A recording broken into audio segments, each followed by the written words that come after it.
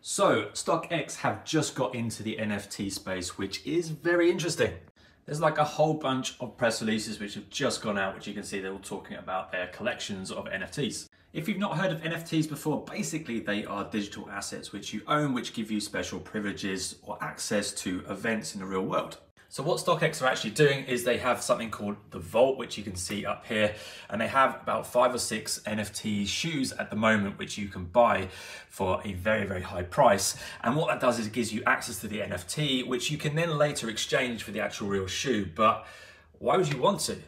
Like, it really doesn't make much sense to exchange the NFT, which is worth £1,200, for the shoe, which is worth about £120. Don't get me wrong, I am really excited to see what StockX actually do for the NFT space, but I think they need to start offering a little bit more than just the actual shoe to make this worthwhile. You also can't buy this in the UK yet, this is just US only, which is a shame.